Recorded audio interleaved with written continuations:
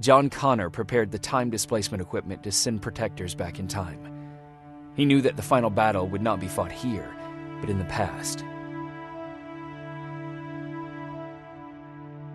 A resistance soldier named Kyle Reese was the first man to go back to 1984. His objective was to protect Sarah Connor, John's mother.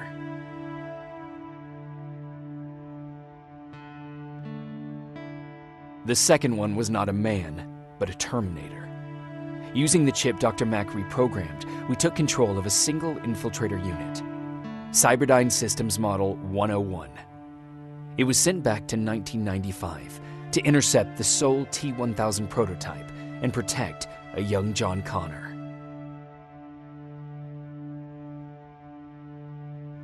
I've decided not to go back in time. Plenty of volunteers wanted to take my place. John Connor chose a man from amongst them. I only hope that he does a better job than I did.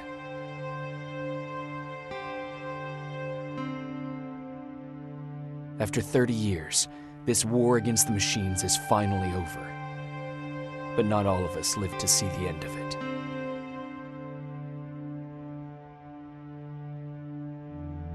We never found Baron's body in the shelter. She never stopped fighting. And if she's still alive, I doubt she ever will. She was the leader we needed in wartime. But I'm not sure if she'll find a place during this time of peace.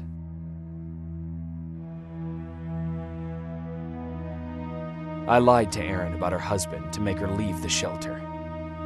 I saved her life. But at what cost? Was it my place to intervene and give her false hope?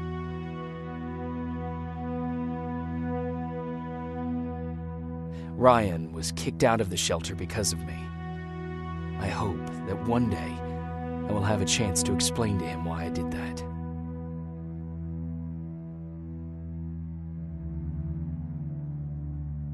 Jennifer and Patrick left before the attack.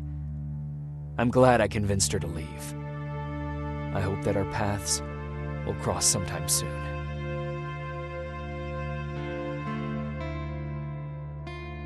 Baron asked me to kill Mack, but I couldn't do it. He left soon after my warning, only to be captured by Skynet. We found him alive in one of Skynet's prisons.